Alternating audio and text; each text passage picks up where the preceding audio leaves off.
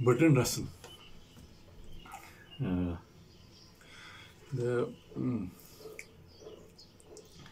the topic uh, which I'm going to uh, talk uh, is basically Bertrand Russell's uh, how he uh, constructed knowledge in his long span. He spanned more than four decades or 50 years of his writings.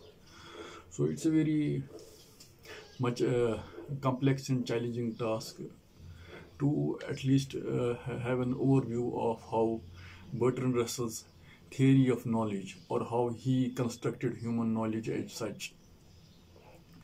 The epistemology of it the ontology of it uh, the psychology of it how in his various phases of his writings so how it somehow in the literature how the analytical uh, tradition which had its uh, propounders of with Russell being one of the main propounders or a significant uh, expounder of the analytical tradition preceded by many uh, philosophers and mathematicians.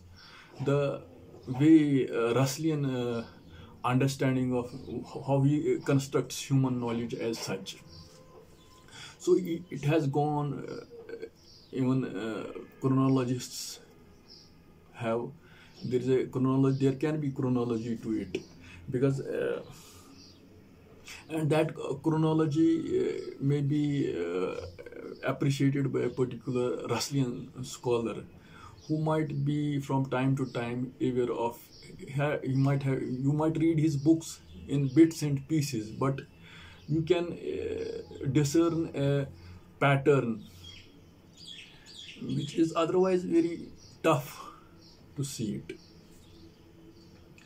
So initially uh, if you restart with uh, Russell, the way he studied uh, uh, in his uh, dissertation, uh, philosophy of Leibniz, and then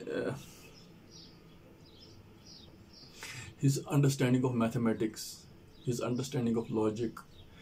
So in his uh, earlier stages, if you study his, he wanted to in his uh, men, um, uh, mental development. What he says that he wanted to have uh, two approaches. There was two approaches of knowing the things. Either you go from concrete and you go to abstract, or either you start from something abstract and you wanted to uh, realize that abstract in terms of some concrete.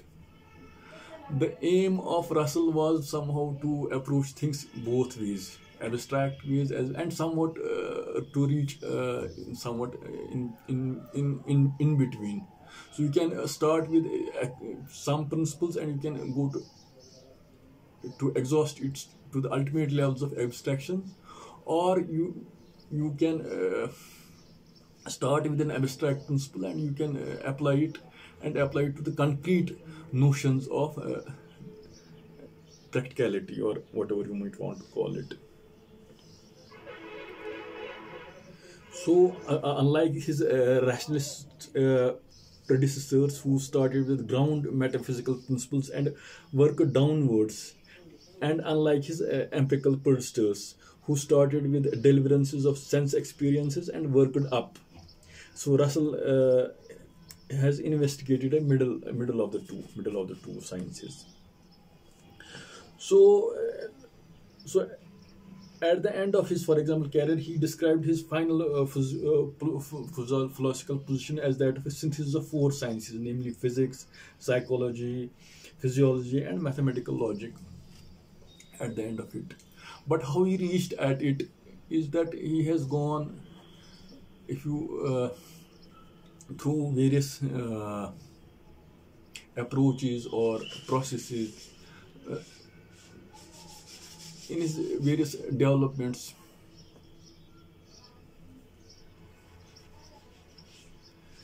So so if you see his uh, subject if you see his uh, study in So if you a lot of people are saying that it's difficult to extent uh, overestimate the extent to which uh, Russell thought. dominated 20th century analytical philosophy. Where virtually every strand, uh, strand of its development either originated with him or was transformed by being transmitted through him. Analytical philosophy itself owes its existence more to Russell and than any other philosopher.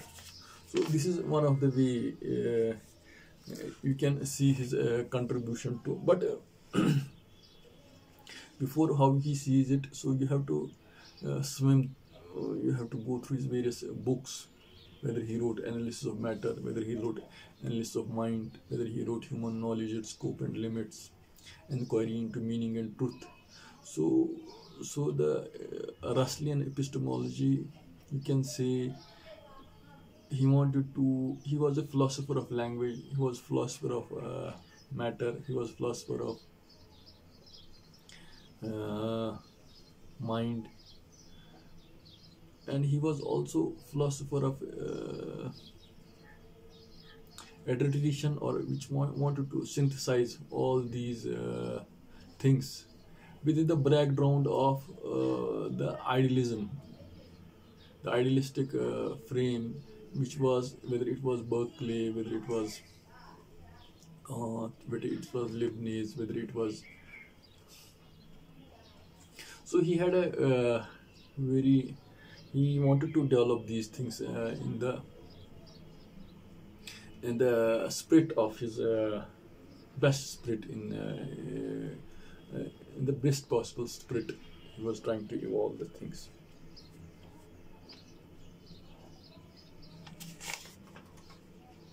So what uh, Russell thought of knowledge, he, he basically categorized knowledge of things and knowledge of truths. And knowledge of things, he says knowledge by acquaintance and knowledge by distinctions. And knowledge of truths, he calls intuitive truths and derivative